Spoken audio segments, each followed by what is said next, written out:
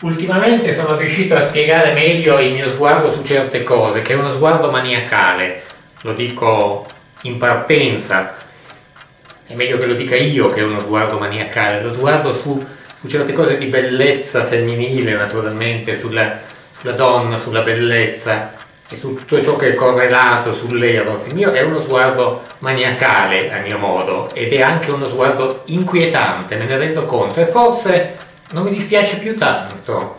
In passato mi ha creato problemi. Adesso che il mio sguardo sia inquietante non mi dispiace più nemmeno tanto. Perché è maniacale? Perché è inquietante? Perché lo spiegavo, ne parlavo qualche tempo fa con eh, due mie amiche, conoscenti, buone conoscenti che fanno del, degli spettacoli di striptease burlesque non so mai come si pronuncia, meglio dire burlesque, così non era burlesque. Non divaghiamo, non divaghiamo, non divaghiamo. E io vado a vederle eh, molto spesso, le ho anche filmate molto e mi accorgo che quando vado a vederle io sono, sono lì in silenzio, eh, anche le volte che non faccio video, ehm, in contemplazione religiosa, ecco questo è un aggettivo importante. Ehm, e questo può essere inquietante perché le altre persone che vanno a vedere questi spettacoli, uomini e donne, ragazze molte vanno a vedere questo spettacolo, eh, lanciano allegri frizzi e lazzi, insomma, eh, è un divertimento come giusto anche che sia, ma non solo. Cioè è giusto che sia, ma può essere anche altro e secondo me c'è dentro molto, molto altro c'è la divinità della bellezza, della bellezza della donna vista da un uomo, ma potrebbe essere anche vista da un'altra donna. Adesso non vorrei fare tutta una divagazione sulle questioni di genere, mi accontento del mio immaginario maschile, del, della mia sensibilità maschile in questo momento, chiedo venia se, se questo può essere un problema.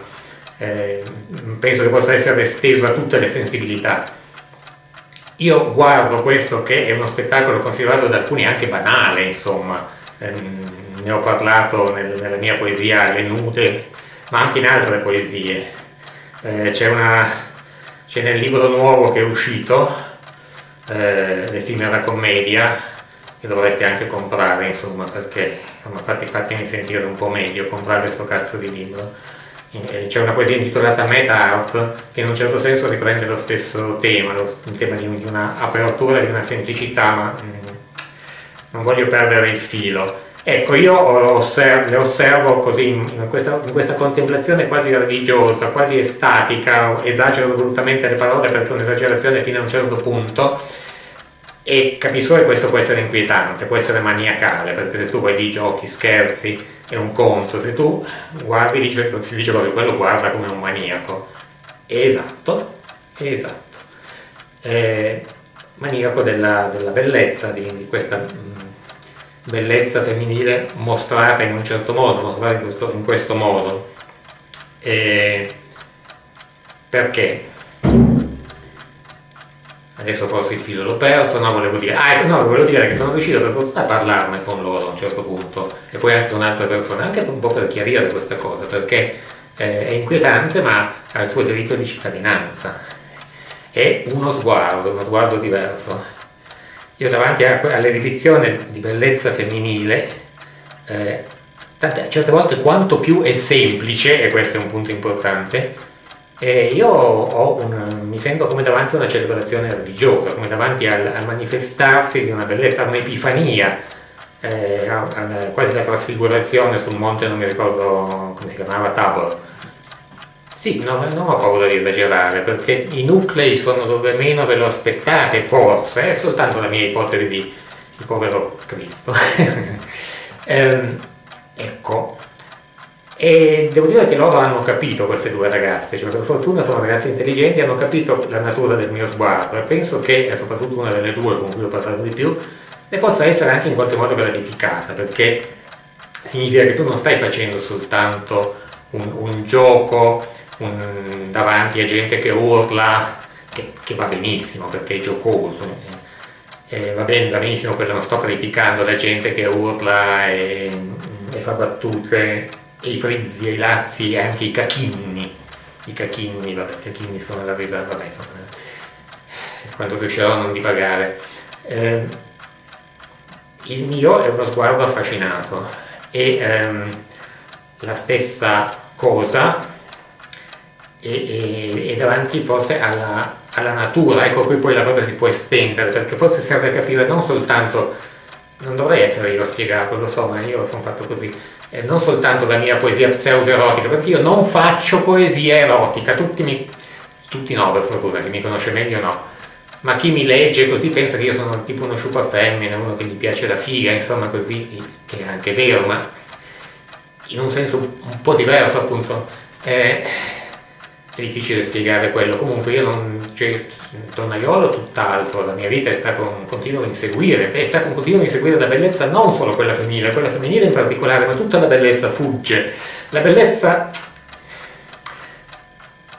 la bellezza del mondo è già nascosta, e questo è il punto che alcuni non capiscono.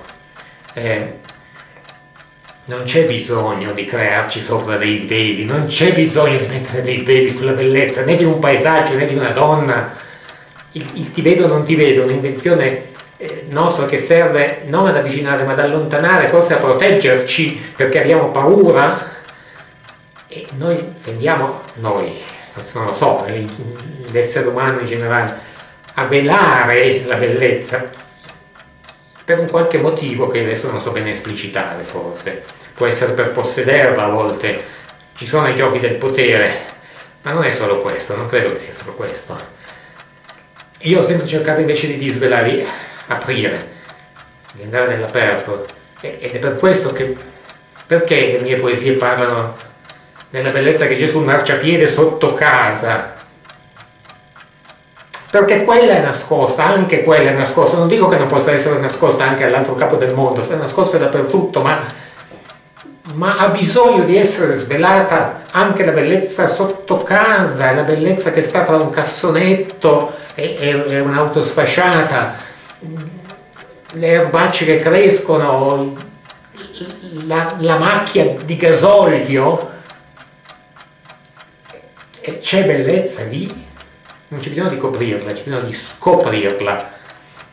E questo anche nel caso della donna. Io, io eh, nel caso dello spettacolo di Spogliarello Burlesque c'è tutto un gioco che, che, è molto bello perché ti porta verso... Però attenzione, è importante che sia uno spogliarello per me. Infatti se eh, qualche volta hanno fatto degli spettacoli analoghi anche quasi per bambini, sono divertenti, sono belli, però è un'altra cosa perché non c'è il condurre verso la nudità. Il condurre verso la nudità, anche se in quel caso non è completa, ma, ma non importa simbolicamente, il percorso è quello. E per me importante, è divino, è quell'altra poesia eh, che ho citato, intitolata Met Art nel, nel libro nuovo, che dovreste comprare, che io devo campare comunque, con tutti i miei difetti devo campare e anche magari, magari, un minimo di gratificazione se lo comprate al di là insomma, del, del, del denaro perché in fondo anch'io faccio quello che faccio no? eh, non, non, ho mai creduto molto nell'arte, nella poesia però fondamentalmente nella vita ho fatto questo fondamentalmente è l'unica cosa che sono riuscito un po' a dare al mondo e se non vale niente quella pazienza vorrei dire non è valso nulla nulla però se qualche volta ho la sensazione che, che valga magari un minimo di gratificazione, vabbè questo era solo per dire che potreste comprare questo libro.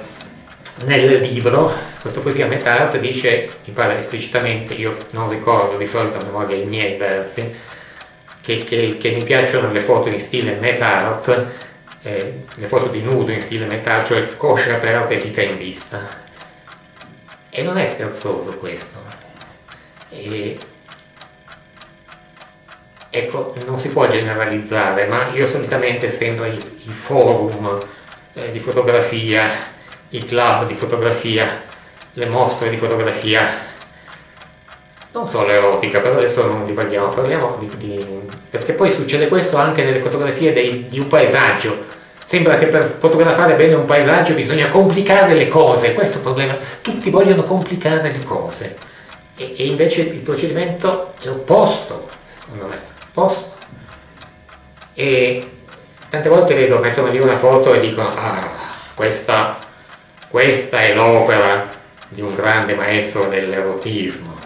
poi mettono lì un'altra foto e dicono no, questo è un banale, nudo, volgare, pornografico. Io solitamente, senza generalizzare, ma solitamente il divino lo trovo nel banale nudo pornografico, in quello che questi sapienti eh, fotografi o studiosi di fotografia piazzano sul versante del banale nudo pornografico, mentre tante volte nel, nello studiato erotismo del maestro che mette quel dettaglio lì, quella luce lì, toglie quella luce là, mette un panneggio qui, mette un filtro là, io vedo costruzioni fredde, fredde. Ora non voglio ovviamente generalizzare, non sto dicendo che basta fotografare una donna a coscia aperta e fate una meraviglia, mentre invece se fai tutto uno studio fai una cazzata, non, non voglio essere frainteso. Dicevo però che in linea, tenden- in linea di tendenza la semplicità si basta e la bellezza si basta. E tutto il lavoro non è coprire, ma scoprire. E a volte penso che il divino sia, sia in questa bellezza infine semplice, pregnante e sconvolgente, perché alla fine lì c'è lo sconvolgimento, e che l'essere umano con tutte le sue costruzioni, nella storia dell'umanità, lancio le mie ipotesi del cazzo, ma insomma ho il diritto di farlo anch'io, lo fanno in tanti, la storia dell'umanità non sia stato un cercare di avvicinarsi al divino, ma un cercare di allontanarsene forse per spavento. L'esoterismo, certe mistiche, certe costruzioni religiose, cosa c'entrano col divino? Lo coprono, lo nascondono, come un vestito copre un bel, col- un bel corpo femminile o maschile, ma ho fatto la premessa prima che sto guardando dalla mia sensibilità, se no diventa troppo complicato. Ecco quindi io ho uno sguardo maniacale io ho uno sguardo maniacale quando guardo una donna spogliarsi e non faccio i frizzi e i lazzi del nightclub, ho uno sguardo maniacale quando guardo un servizio fotografico e mi emoziono sulle foto che per quell'altro sono banali, volgari, pornografiche, troppo, troppo semplici, è troppo semplice, questo è troppo semplice. E, quindi, e questo è, un, è uno sguardo maniacale perché invece bisognerebbe seguire tutte le costruzioni più letterarie, in fondo anche la poesia, cazzo. Ad avvicinarmi alla poesia del Novecento, io sono un ignorante, non ho mai avuto voglia di leggere, sono arrivato a, a 25 anni che ero fermo all'Ottocento. A farmi entrare nella poesia del Novecento è stato sì un po' Montale letto a scuola, sì, gli ossi di seppia, il primo Montale, lì c'è semplicità, quella divina semplicità a cui noi complicati non siamo poi così capaci di arrivare. Ma quello che mi ha schiuso le porte a un Novecento più recente, adesso il tempo passa, anche lui, anche lui è morto da tempo, è stato Giorgio Caproni. Giorgio Caproni con i, versi, i versi, alla madre, con il seme del piangere, mm, semplicissimi, assolutamente semplicissimi e immensi posso dire una cosa che i versi, i versi migliori di Caproni sono come la foto di una ragazza nuda a gambe aperte e non come una foto di un panneggio ti vedo o non ti vedo. Ed è faticoso arrivare lì. È faticoso arrivare lì. Poi certo voi direte, ma invece fotografare una ragazza nuda a gambe aperte non è poi così faticoso se... Però, chissà, perché anche quelle foto non sono tutte uguali? Per come è la ragazza, certo per come si pone, per com'è anche la fotografia, perché anche le fotografie, che sembrano semplicissime.